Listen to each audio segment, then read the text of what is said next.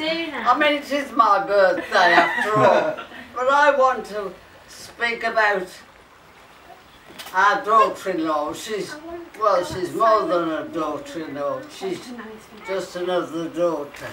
But she's organised all this and she keeps making cakes for people and she looks after her mum and dad, does shopping for them, shopping for John and I.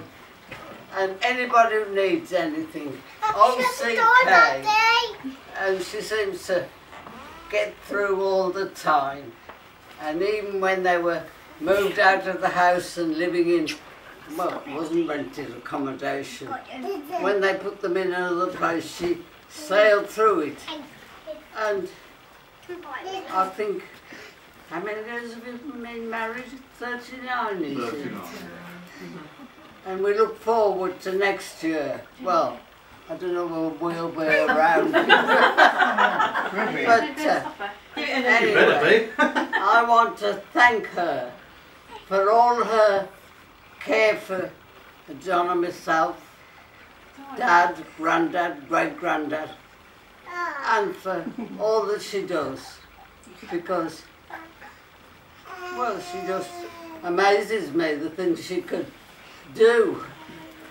And she always thinks of something appropriate. Because we, we're a kind of uh, fans of Countdown, and she's got the word thing. And Lord, I just thank her so much. Even yesterday, organising for Ruth and Trevor to be at our birthday, which we just didn't know anything about it.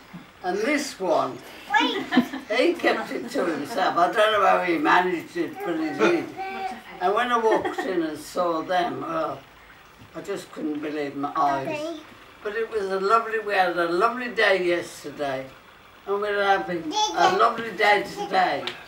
Seeing all our children, grandchildren, and poor old Tom, because he's got responsibilities everywhere. He couldn't make it. It's wonderful to see you all together and to enjoy. It's what we call fellowship.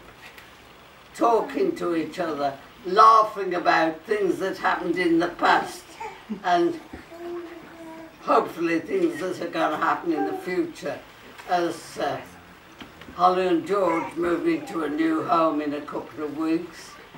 We just trust that everything will go well for them there.